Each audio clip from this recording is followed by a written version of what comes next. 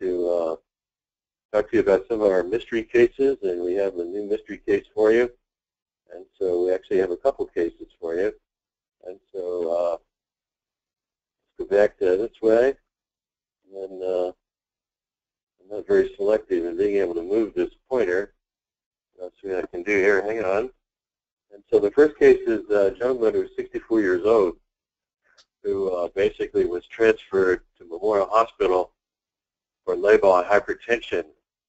The patient uh, had been hospitalized several times, South Florida Baptist, uh, St. Joe Hospital, Tampa General Hospital, had all these hospitalizations for hypertension, uh, which was uncontrolled, uh, as well as uh, for other symptoms that seemed to be accompanying that, which were nausea and vomiting. And so he did have a cerebellar hemorrhage uh, at South Florida Baptist and was transferred to Tampa General Hospital. And he was treated and discharged home on Lopressor and cardizem. Supposed to start aspirin after that. Blood pressure got out of control again, and he presented to South Florida Baptist and uh, had some severe head, headaches and more blood pressure problems, 208 over 108. He was admitted to the ICU. Uh, his blood pressure uh, was still elevated. He was transferred this time to Memorial Hospital. He had been at St. Joseph's Hospital. He made the rounds in Tampa. And uh, but finally he came to uh, the Mayo Clinic of Tampa, Memorial Hospital, uh, where we could make some decisions on how to take care of him. So his blood pressure uh, was the number one problem. And so let's see how we handled his blood pressure and what our approach was. And so going back again to the history, whoops, he has uh, neurofibromatosis, which is, is, an unusual disease for us to be seeing, uh, and hypertension dating back to 1996. He had a cerebrovascular accident in 1996 with some upper extremity weakness. He also had Bell's palsy in 2002, unrelated to uh, the central problems that we were experiencing with uh, strokes. Bilateral cataracts, uh, surgical removal of the cataracts, ventral hernia, uh, some heart disease in the family, brother with bypass surgery. He was a non-smoker. Uh, he's still working despite his blood pressure problems and as we said, he's on a beta blocker and a calcium channel blocker, has no adverse drug reactions.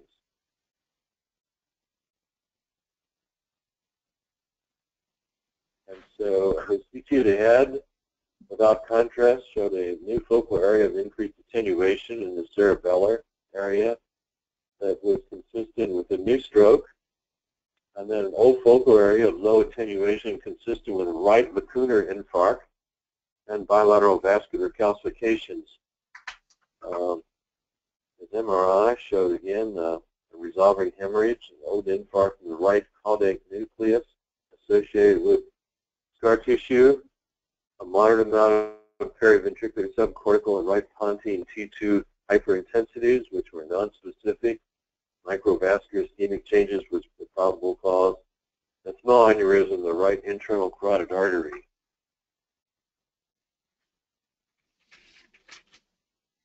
and he had diminutive left vertebral artery arising from the aortic arch. This is not uncommon with a dominant right vertebral artery. These are anatomical variations that occur frequently. Had uh, not significant carotid artery stenosis, just uh, non-obstructive, not hemodynamically significant, but some calcified plaque. Had some narrowing up high in the cervical segment and intracranial segments, probably due to chronic dissection instead, uh, according to the radiologist. There was mild ectasia of the A1 segment of the left internal carotid, and uh, no evidence of aneurysm or AVM.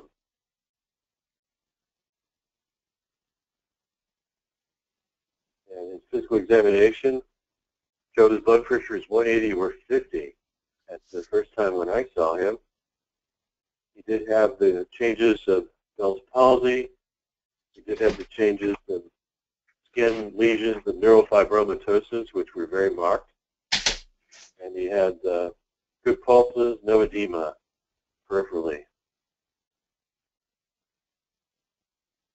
So our plan at that time was to continue him on what he was taking, the IV labetalol, and uh, to uh, look for an MRI of the renal arteries to find uh, a reason uh, for his uh, hypertension, to look for other reasons, uh, more esoteric, such as metanephrine, VMA.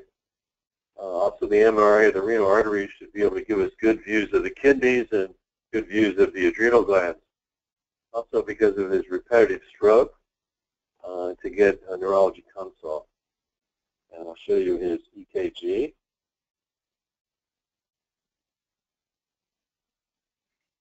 And his EKG uh, shows some very dramatic changes.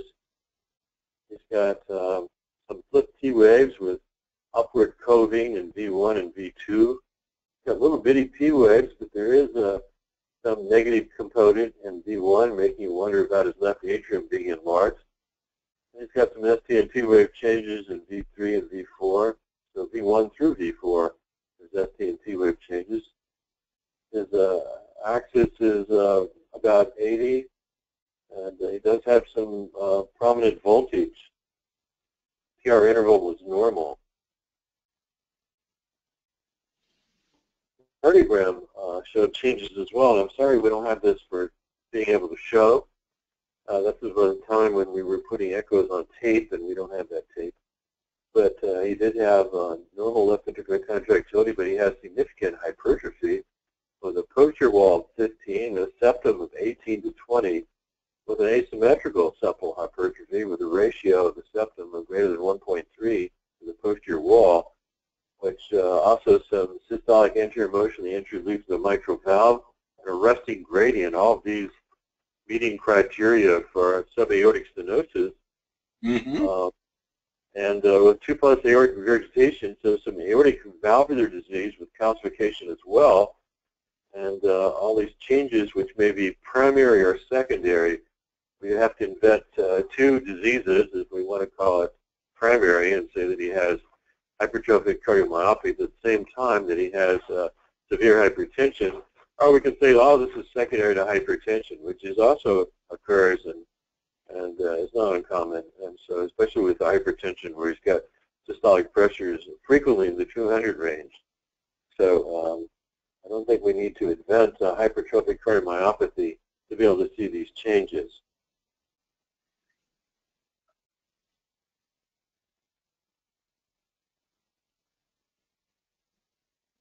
And so we're looking at his blood pressure log and uh, trying to decide uh, uh, my my system goes back and forth here. Uh, but his blood pressure here is very interesting. He's on a labetalol drip, and uh, here's the accounting of his blood pressure uh, in the morning at 7 a.m. and going down to about oh, it looks like uh, 4 o'clock, 2 o'clock, 223 over 122, 240 over 132, 224 over 133, and then 172, then it's going back down again. So have that peak.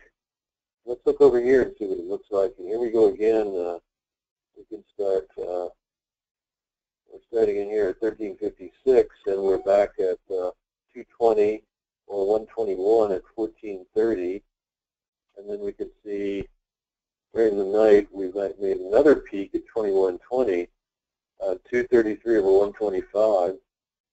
And so, and then uh, they called me, of course, and uh, we gave him some Procardia PO, and we gave him some clonidine PO to bring that blood pressure down, because here he is on a labetalol drip in the ICU.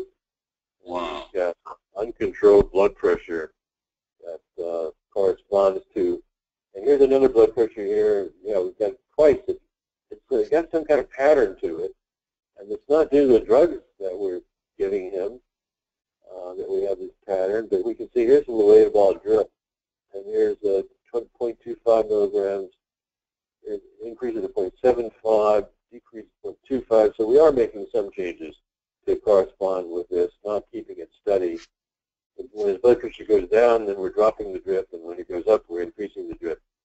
And then when it gets really uh, way up, then we're giving him some extra oral drugs. And so let's take a look at this pattern again, and we see the same pattern. But let's look over here. This is uh, when we transferred him to the floor from the intensive care unit, and we're seeing a pattern that's occurring uh, that's very similar, but we don't have all of the markers because before we were getting markers all the time in the ICU. But here it's every four hours, and so you can see a sudden jump, which really wasn't a jump because we could tell from the ICU that it was a gradual rise and stayed there and then went back down again. But now when you're looking over four hours, it just looks like an impossible jump and then back down again, jump, back down again. It looks like it's occurring pretty much the same time every day.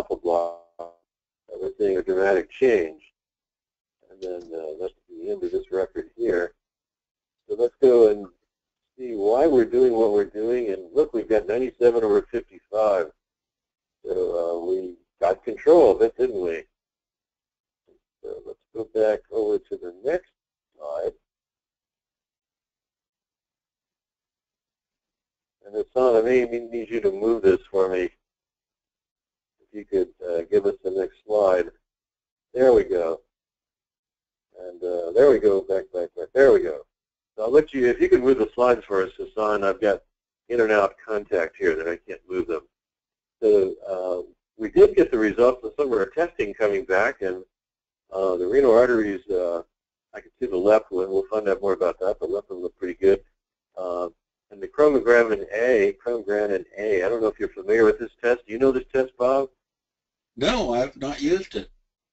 Yeah, this is the one that I use as my screening test for pheochromocytoma.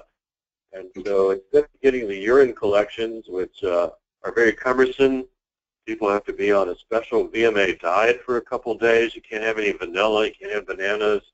Uh -huh. I don't think you can have caffeine. It's a bunch of stuff you can't have.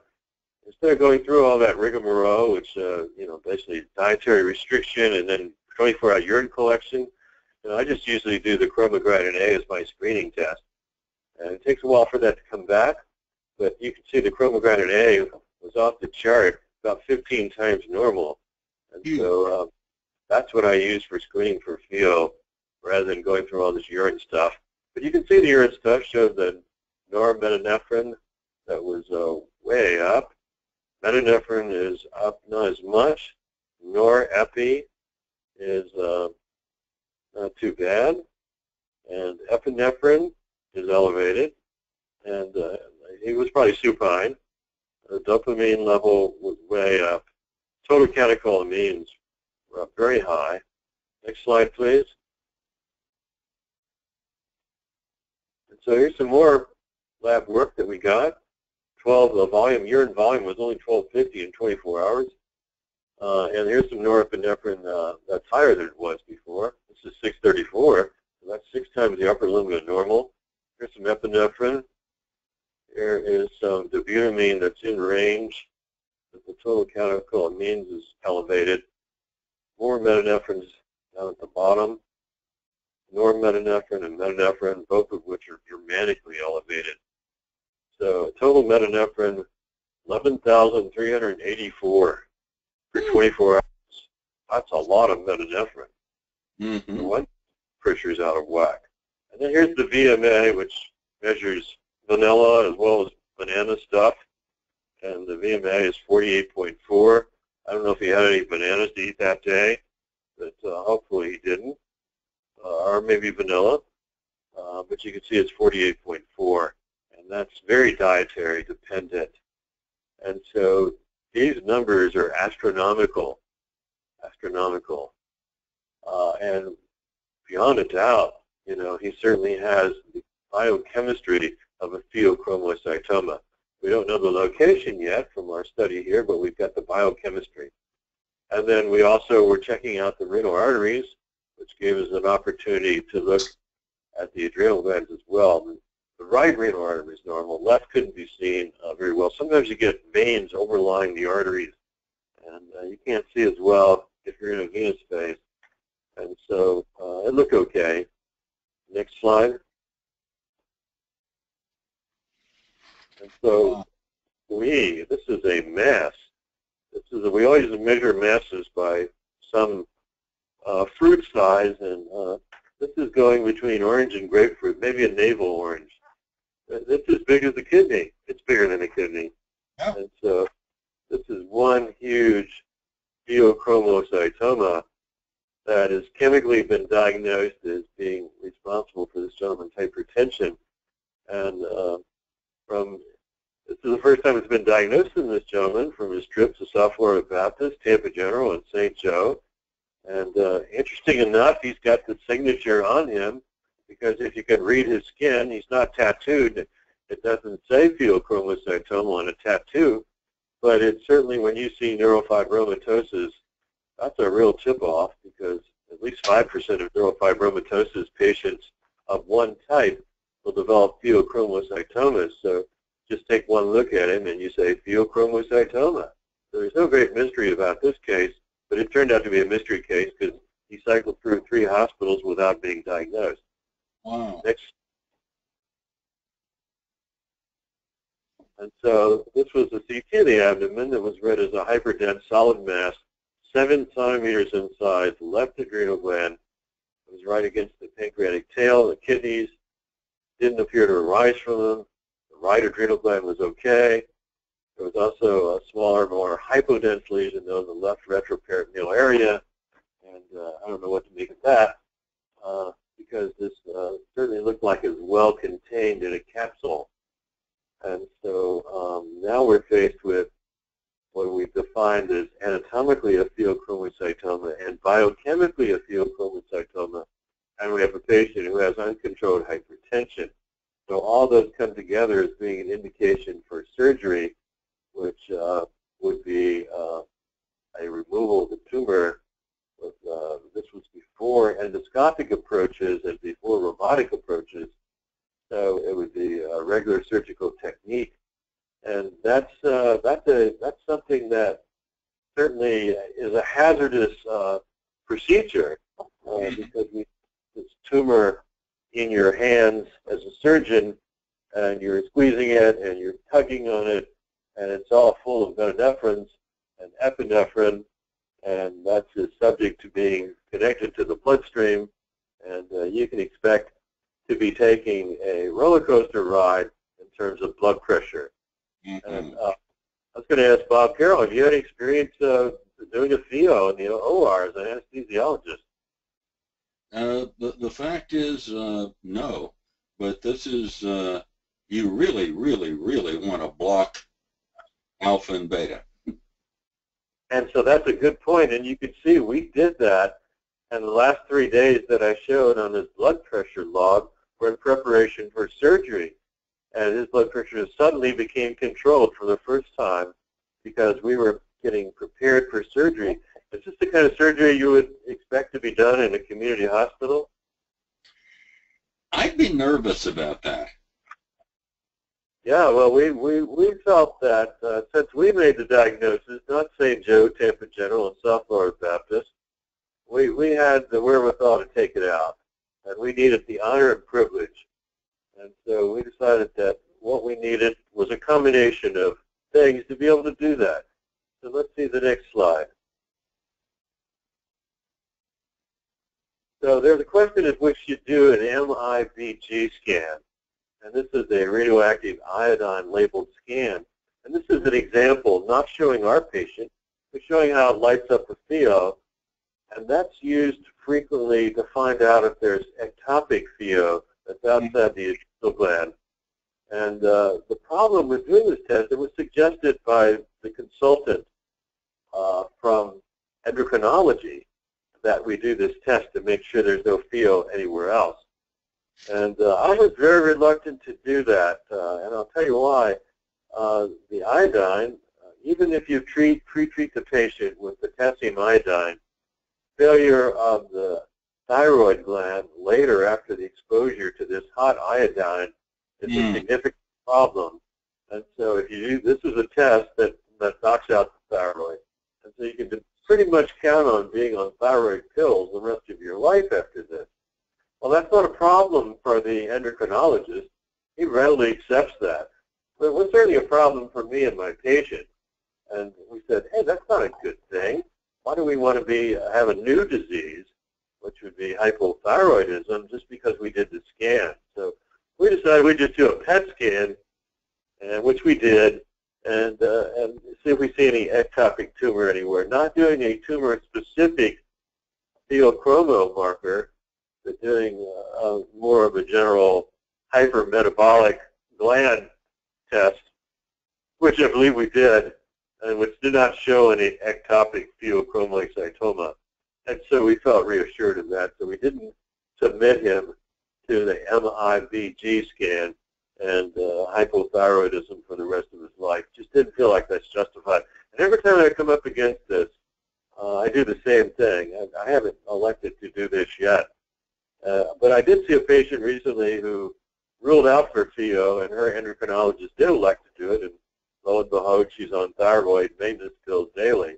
And so I just don't, can't really justify that at this point. Mm-hmm. So next slide.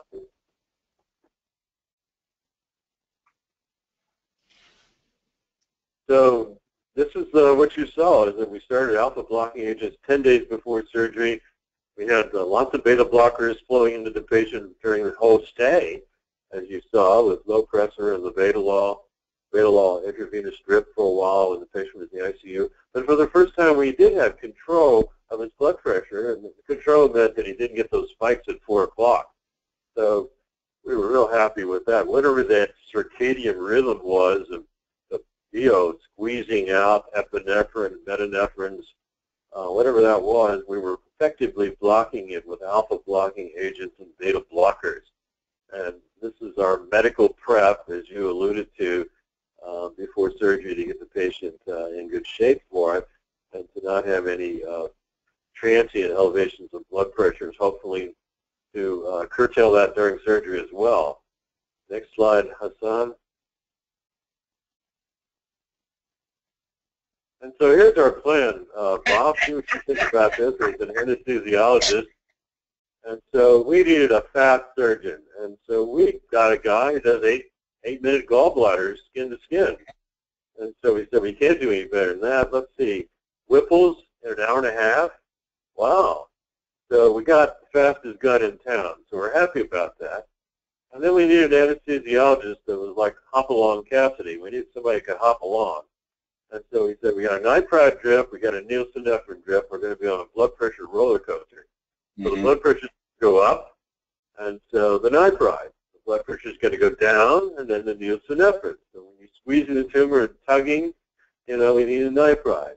And then all of a sudden, whoa, you know, we had a drop in uh, the level of metanephrines and epinephrine because the surgeon started laying off for a while. He's actually elongating veins and arteries to the tumor so the tumor is not exposed to the bloodstream as much anymore. And now we're getting hypotension. So you got to have an anesthesiologist just goes back and forth. And actually, what you do is you hang both drips. You go back and forth, back and forth, back and forth. And so then I was worried about the ASH and the SAM. I was worried about the gradient the patient had, 90 millimeter gradient rest. So I'm going to put a TE probe in. Uh, those were the days when anesthesiologists didn't do the TE. So I'm putting a probe in. I'm going to take a look and watch the heart so we're all in the OR, anesthesiologist, great surgeon, really fast, and uh, I'm doing a TE, cardiology. So we're all in the room, which is a good thing. And everybody in the room at one time. And the tumor is the size of a fist, with, you know, grapefruit, whatever we have. Uh, next slide. Wow. So there she blows, big old tumor, and uh, just put your fist right down there next to it. And uh, we got some pathology, and uh, we, uh, you can see it looks like some hemorrhages within the tumor where it's outgrowing its blood supply. And you can just imagine getting a hemorrhage and then and then some of that metanephrine and epinephrine gets into the bloodstream and I don't know what's happening to give you the cyclical pattern. The cyclical pattern was very, very predictable for us. And uh, next slide, we have lots of slides of the pathology of this tumor with uh, H&E stain. Uh, if you could give us the next slide, I think um, we have some other slides uh, that uh, Hassan is going to get up. And so this is H&E stain. Looks very monotonous. Looks pretty nodular. Uh, looks like some colloidal substance there that's staining. Uh, looks like it's overlapped at the top a little bit, some overlap of the tumor. Uh, next slide. And pathologist uh, said this is classical, some hemorrhage in it, got blood vessels. Uh, looks like a, a thick blood vessel up at the top. Come on down, next slide. And so because we were so prideful of having gotten this out safely, we made lots of slides. And so neurofibromatosis, NF1, affects approximately 1 in 3,500 individuals worldwide. I haven't seen neurofibromatosis since this case. So I don't know where the 3,500 individuals are. If you one out of 3,500, you know, I must have seen 70,000 patients, and so that would be there would be a lot of neurofibromatosis. There'd be 20. I would have seen 20 neurofibromatosis in my career, and I've only seen one uh, since medical school. And it's autosomal dominant inheritance with complete penetrance. And the pheo occurs in up to 5%. So again, this patient is advertising that he has a pheochromocytoma. He's got hypertension. You know, you could actually put a, couldn't do any better than tattoo. I've got a pheo. Look for it here. You know, so so this is a, a number I guess we forget after medical school, the 5% of patients. But it's probably the most important thing about neurofibromatosis for me. Know, I remember some of the tumors and dumbbell tumors in the spine and some of the other crazy things you get. But uh, the pheochromocytoma is probably most significant for a cardiovascular disease specialist. Next slide.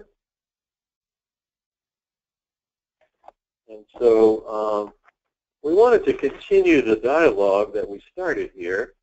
And so, and so let's continue on, and you'll see how uh, we segue into the second case. So uh, next slide on our second case is a 56-year-old male who presented to my office with uncontrolled hypertension. Actually, it's somebody that I work with uh, quite frequently. I see him a couple times a year, especially sometime before April 15th, if you get my drift about what his employment is. And so I see him quite frequently, a couple times a year, and uh, he uh, had some hypertension and was concerned about it. He said he'd been carrying this diagnosis, you know, a bunch of medications, and they didn't seem to be working very well. He really didn't have a lot of complaints, uh, but the hypertension was bugging him, and uh, he didn't feel like he was at his best uh, this year before his takeoff for April 15th when he works really hard for about three months. And so let's see the next slide. Past medical history, nothing. You know, hypertension in the family, diabetes in the family, Parkinson's disease. He's on a, a beta blocker. He's on a diuretic. He's on an alpha blocker.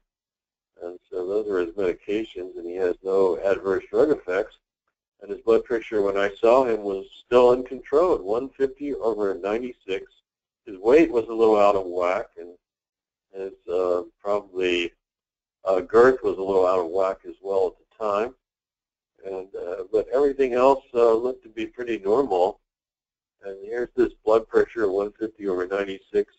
And of course, you know, one of our best tests for looking at the long-term effects of long-standing high blood pressure to uh, measure whether it's been controlled or not is uh, concentric left ventricular hypertrophy. This is really a key. It's like a hemoglobin A1C is for diabetes, if you're going to do an analogy. Uh, so concentric LVH says, yes, he has high blood pressure, and no, it's not been controlled. And so as a cardiologist, that's one of the first things we go to when we're trying to figure out about somebody's blood pressure control. Sometimes you can look at the carotids. It's very unusual to get medial thickness, um, thickening of the carotids. The echo is standard for us. Of course, EKGs can vary according to the body habitus, and you can have a lot of voltage in thin people and decreased voltage in fat people, and so it's not as reliable. The echo is, is spot on in uh, deciding whether someone's blood pressure has been well controlled. Let's see the next slide. And so here we are. Uh, he's on some Norvasc. He's uh, getting some close follow-up. His blood pressure seems to be uh, controlled better on medications. But then we got a routine lab, and we found that uh, his potassium was 2.9. Now he was on HCTZ, but uh, potassium usually doesn't go that low on HCTZ. But I do see people that come in the ER, not infrequently, that are on HCTZ without potassium supplement who have subnormal potassiums. And so that's not an unusual thing to find. And so we said, okay, let's put him on some potassium replacement. No big deal. It'll balance out. He'll be fine. And so the most surprising thing was on KCL tablets, I think it was about 10 or 20 milliequivalent, he comes back uh, three months later being very compliant. His potassium now is 2.6. That is unusual for someone on HCTZ and potassium replacement. So that's off the chart terms of being an unusual event. And that means something else must be going on in this patient. So it's time to search for another cause. And so let's do some cortisol levels. Let's do an aldosterone level. Let's check the aldosterone renin level. The aldosterone is 29.9. That's, uh, that's a lot of aldosterone. You might call that hyperaldosteronism. The cortisol level is okay. I don't know what time of day it was done. Probably in the morning. That's when you usually do it, early AM cortisone. That's the usual order. And uh, wait a minute, I'm going to lose touch. Hang on. Okay. The renin level was less than 0.15. Well, let's see. That is very, very, very low. As a matter of fact, that gives us an aldosterone to renin level of infinity. And so, wow. So he has, by definition, looking at these numbers, hyperaldosteronism, etiology unknown. Well, mm-hmm. pretty, pretty, just like the other one. This is very, very clear-cut information. It's not uh, borderline chemistries. Frequently, we do these tests on people that we see with high blood pressure, and we never see a positive one. But we see all these little borderline things, stuff jumping up and down, you know, a little bit of elevation of this or that. we never see, these are extreme measures, extreme limits. And uh, I like that, you know. It's not borderline. It's black or white. Next slide. So it's not uncommon that we see when we're doing CTs and MRIs these little thickenings of the adrenal gland uh, that is uh, basically little adenomas. We see them all the time. They're asymptomatic. They're, like, we got them all the time. We don't pay much attention to them. I always write it down somewhere in my problem list, thinking someday I'll be using that information and uh, someone will come down and have adrenal adenoma. But, you know, that's active. It's physiologically active. But they don't. And it never does. And I've always got on the chart and I see them all the time, and maybe a couple out of a hundred I see. And we're doing these CTs all the time on patients and finding these and not paying attention to them. And so here's one that makes a difference. And it's a small focal area of mild thickening of the inframedial aspect of the left adrenal gland, which measures only about 15 millimeters in thickness, okay, 1.5 centimeters, although not entirely specific. It seems to sort of blend. Probably represents a small adrenal cortical adenoma. It's got sort of a blend. It's in the cortex, right? It's not the medulla, and it's kind of blending with the normal tissue, so it's not, and it doesn't stand out as being an encapsulated thing, but it's abnormal and it's shallow adrenal gland frequently that's like a little triangle when you cross-section it. Next slide. So again, looking at these, I, am sure I did uh, a chromogranin A, and uh, I'm sure he was wasn't on a VMA-free diet, so he probably had a banana or two, probably had some vanilla or something in a cupcake. And the urine serum catecholamines are normal. Slight elevation of VMA doesn't mean a thing. 24-hour urines are pretty hard to collect. It's pretty hard to get good data. And so next slide. So he's going to have surgery, and uh, he's very interested in getting this done and see if this is going to help his uh, hypertension. So we look around to find out who the leaders are in doing this procedure. We find somebody at Hopkins that's one of the leaders, and actually he retired was at Hilton Head, and I called him up and had a conversation with him about the laparoscopic adrenalectomy.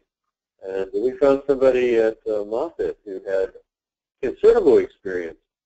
Uh, we also found somebody at Moffitt who lived in another city who would come in every once in a while, once a month, and do stuff at Moffitt and um, that wasn't a good option for us. So uh, we did find somebody with some experience, and actually I went out there with the patient when he was seen by the doctor, and then uh, when he had his surgery, I met him there at 5.30 in the morning, and uh, we get anesthesiology alert to what we're doing, and of course I meet with the surgeon and we have a discussion. If the patient's own cardiologist shows up pre-op at 5.30 in the morning, that means that you're under scrutiny and uh, everybody better be on their toes, and you better be doing a good job because uh, someone's looking over your shoulder. And so I didn't exactly carry a gun with me put a gun to their head, but I'm going to be watching them, and uh, and I'm going to be talking to them. I'm going in the OR with them. And so we did. They did a great job. I was really pleased with everything went, and a cortical adenoma measure 1.3 was removed. So this so-called Conn syndrome with a specific adenoma, not bilateral hyperplasia, but a specific adenoma being responsible for hyperaldosteronism in its purest form. Next slide. And we got some pictures that show the uh, adrenal cortex. And what we used to learn is uh, salt, sugar, and sex which is aldosterone, cortisol, androgens, and then the adrenal, adrenal medulla cortex consisting of glomerulosa, fasciculata, and reticularis. And so catecholamines come from in here, and aldosterone comes from out here. Very segregated uh, areas of the adrenal gland. This is the adrenal triangle. It always looks like that. A nice cross section. Next slide.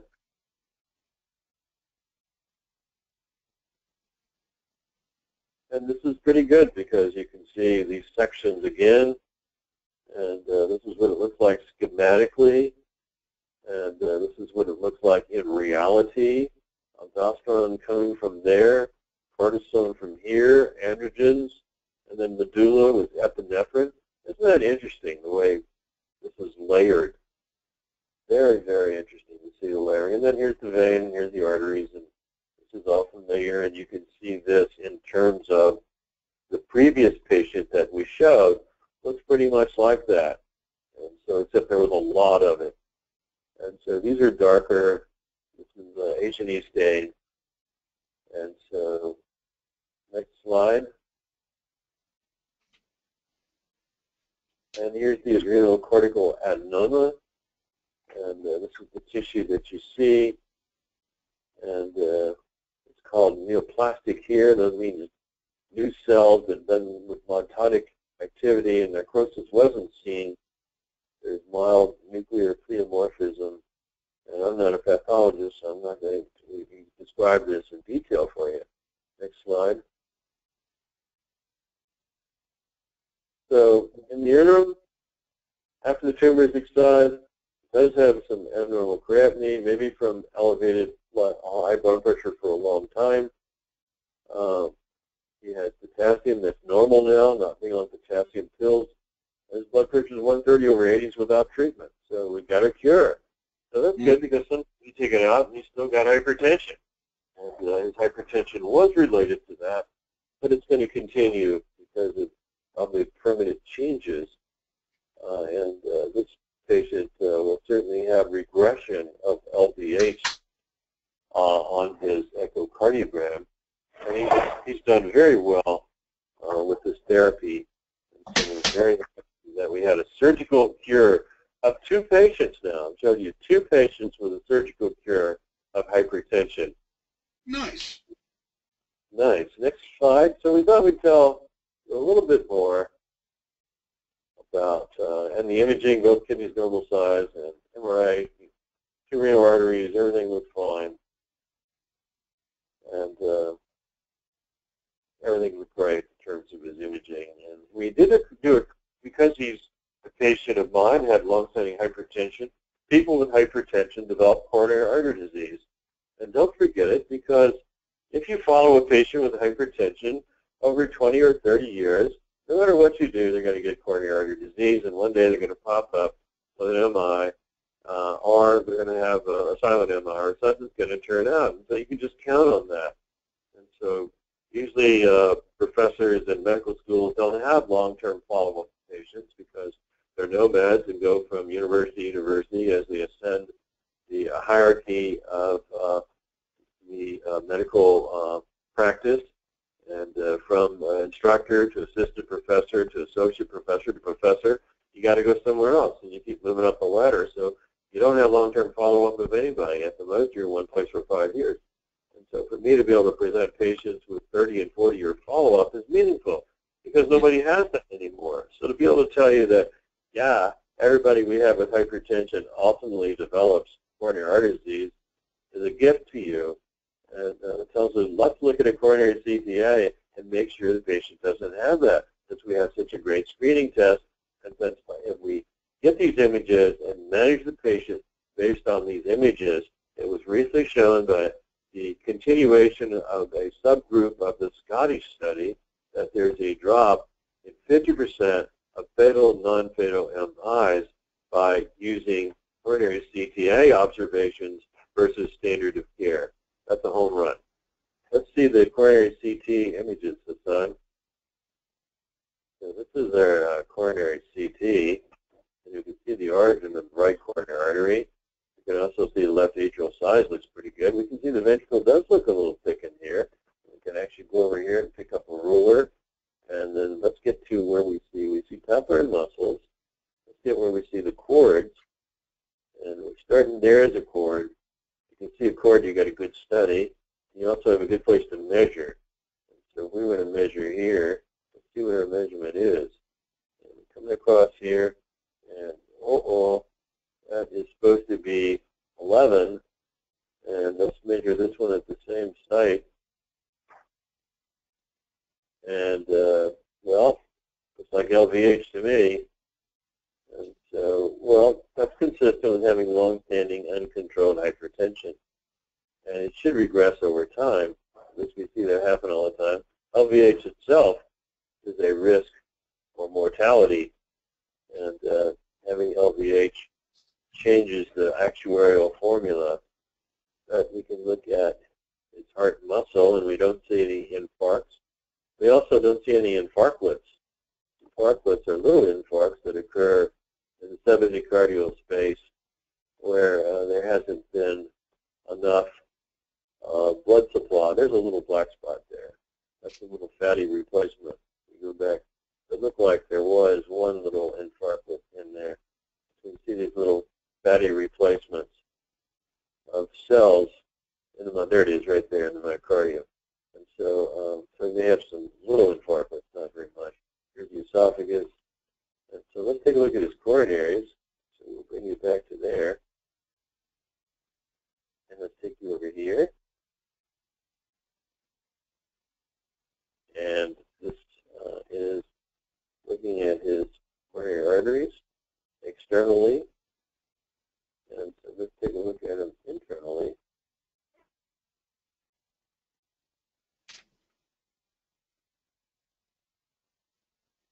And so should come up in a minute. There's a delay of 300 microseconds, 300 milliseconds of me, me being remote in North Carolina, manipulating these images, but that's longer delay than that. And so uh, we can go to other images to show you coronaries. Uh, and here's what I can do. Let's take it over here and let's do this. And so come on, coronaries.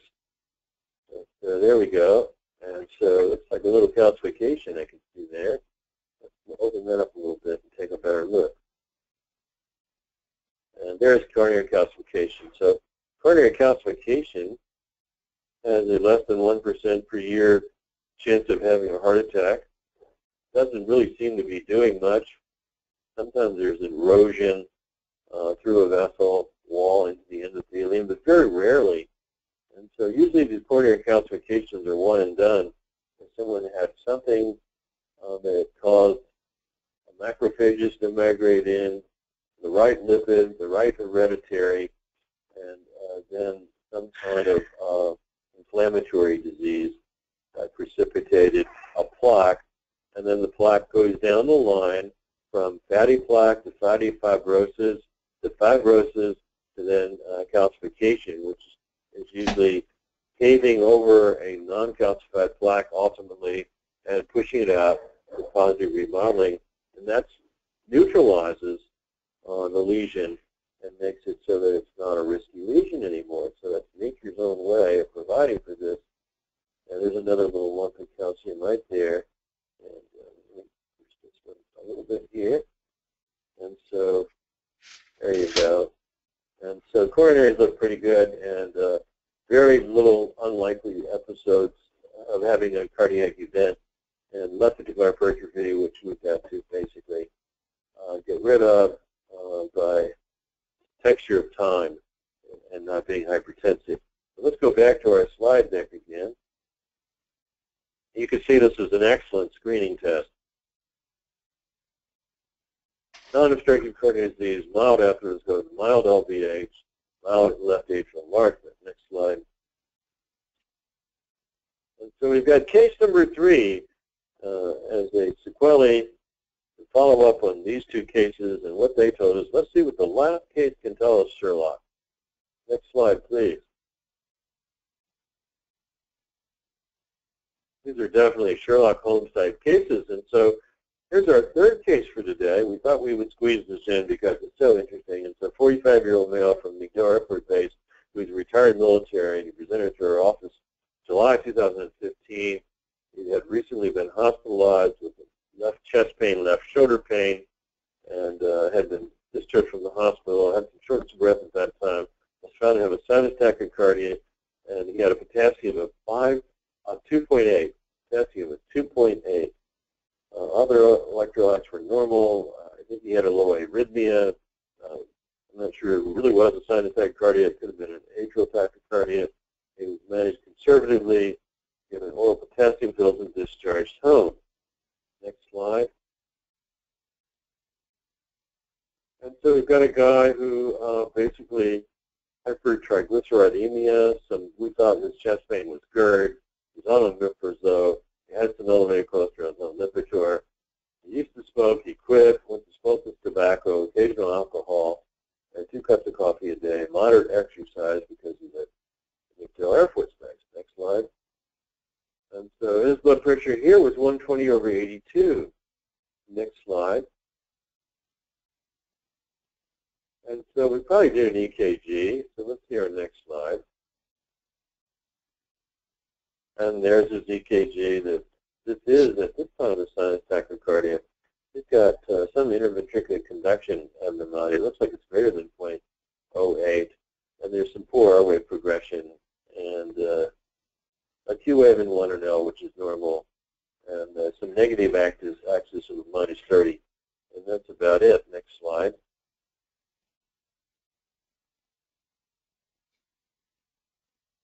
And we did a stress test, which uh, wasn't very remarkable in terms of his blood pressure when he came in. The diastolic was elevated. He exercised 8 minutes and 31 seconds, which is not good for a guy his age. He got his heart rate up and uh, blood pressure rose to a maximum 160 or 81. Not very impressive. Had some leg discomfort. Probably doesn't exercise a lot. Next slide.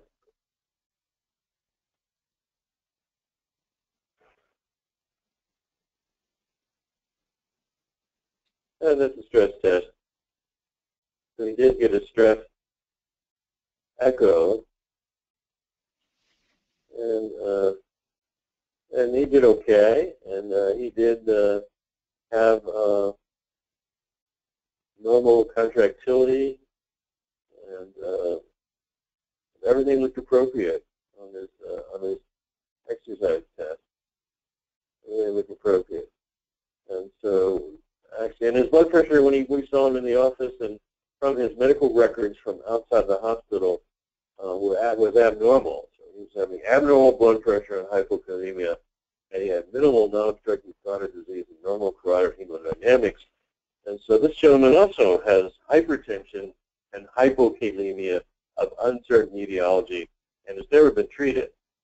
And so what do you do when you got hypertension and hyperkalemia? Well, you saw uh, the patient I showed before. Perhaps there's something similar going on. And so this is the first time we saw him, and we're taking a history, and he said, yeah, you know, I got smokeless tobacco. That's the only thing we could come up with that sounded interesting. So we said, uh, go out in the truck and get your can and bring it back in. Let's take a look at it. Here's all the warnings. Tobacco is addictive, causes mouth cancer, all these things. But he quit smoking. He's using this stuff. That's classic wintergreen. And uh, let's see what's in this stuff. We got the students to uh, start looking, and the classic blend is dominated by cinnamon. Wintergreen is blended with peppermint wintergreen oil and licorice roots, and anise produce a mild flavor in a licorice blend. And apparently licorice is a frequent additive. There are additives for uh, basically licorice, molasses, fruit, uh, all kinds of things. Uh, licorice is approved by the FDA as a flavor. There's an artificial flavor. There's a real flavor. And uh, the flavor certainly is enticing. Uh, and uh, licorice uh, can be used with any amount because there's no control by the FDA. It's just approved as a flavor. So next slide. Licorice was a sweetener for tobacco. It's still used in a huge amount in tobacco products. Being used for licorice worldwide is uh, for tobacco. And uh, the manufacturers for licorice made from uh, wood from a tree uh, sold about 73% of its products in 2005 to the tobacco industry. It's basically licorice. It's unflavored. Uh, it is used as flavor. You can use it unflavored without licorice or flavored with licorice. Cherry, berry, wintergreen, all this stuff is used. Drambuie, all this stuff is used frequently. But licorice is number one. Number one flavoring and chewing tobacco uh, are in snuff. And so we're looking at licorice and seeing we got licorice root. If you go to the health food store, not very healthy. We got licorice mint. We got licorice plants look like that. We got licorice Luden's. I don't know if this is licorice flavor artificially or if it's real licorice. Here's more licorice root. Here's Montana black licorice whips. And uh, here's one that actually is sort of uh, decontaminated by deglycyrrhizinated licorice. It's called DGL. It doesn't have the glycyrrhizin uh, that causes high blood pressure.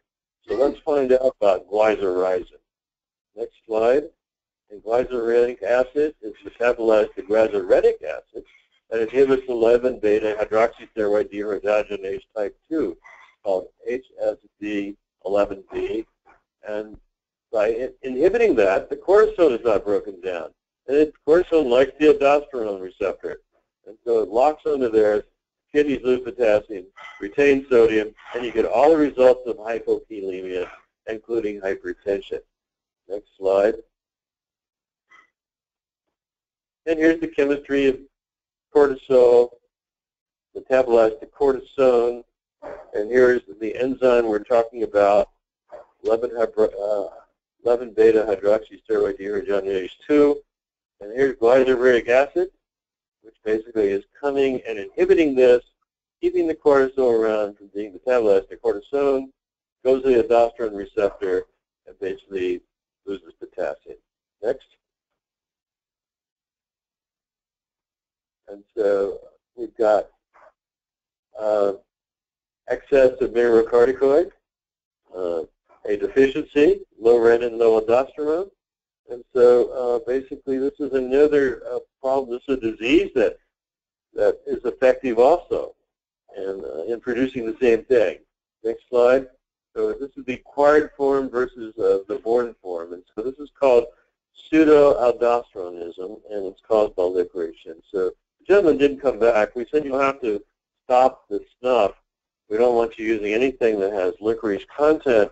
He was very upset about that and uh, left a can of snuff for us to make a picture of and uh, went to his truck and didn't come back. And so we'll try to get him back again for follow-up. he likes stuff, I'm afraid. I don't think he's going to make any changes. So that concludes our, our conference right on time today. And you've seen three very interesting cases, three cases you'll probably never see again, but I want you to think about it. I want you to think about, know, pheochromocytoma. We always mention it when we're doing a workup. We never see one. This patient had the trademark skin findings of neurofibromatosis, which says basically, I'll have a pheo until proven otherwise. And the dramatic uh, results are some kind of weird rhythm to his hypertension of uh, squeezing out epinephrine and epinephrine. And then in the next case, uh, somebody with Conn syndrome with a distinct adrenal adenoma. And third case, hyperaldosteronism caused by someone who has uh, used a licorice uh, something with, uh, with higher licorice. It's hard to tell. You never can tell, you know, what's got licorice, how much licorice is in it, and so there's something to think about. So thank you very much. We had a great conference today, and uh, enjoyed having you visit. I'll talk to you next week. Bye-bye.